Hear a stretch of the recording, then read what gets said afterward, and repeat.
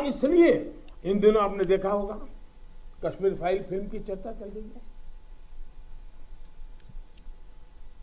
और जो लोग हमेशा फ्रीडम ऑफ़ एक्सप्रेशन के झंडे लेकर के घूमते हैं, वो पूरी जमात बौखला गई है पिछले पाँच छह दिन से। और ये फ़िल्म का तथ्यों के आधार पर, आर्ट के आधार पर उसकी विवेचना करने के बजाय उसको डिस्क्रेडिट करने के लिए बड़ा मुहिम चला है, आपने देखा होगा। एक पूरी इकोसिस्टम कोई सत्य उजागर करने का साहस करे, उसको जो सत्य लगा उसने प्रस्तुत करने की कोशिश की। लेकिन उस सत्य को न समझने की तैयारी, न स्वीकारने की तैयारी है, न ही दुनिया इसको देखे, इसके लिए उनकी मंजूरी है, जिस प्रकार का षड्यंत्र पिछले पाँच छह दिन से चल रहा है।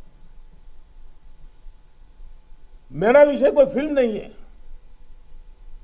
मेरा विषय है कि जो सत्य है, उसको सही स्वरूप में देश के सामने लाना, देश की भलाई के लिए होता है।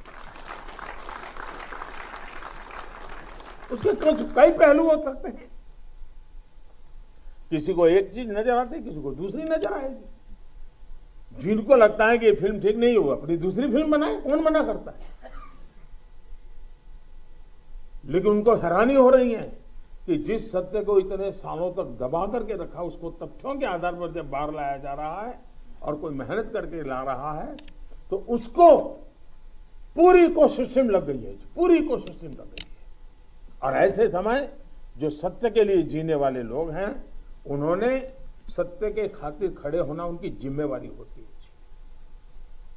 और ये जिम्मेवारी मैं आशा करूँगा सब लोग निभाएँगे।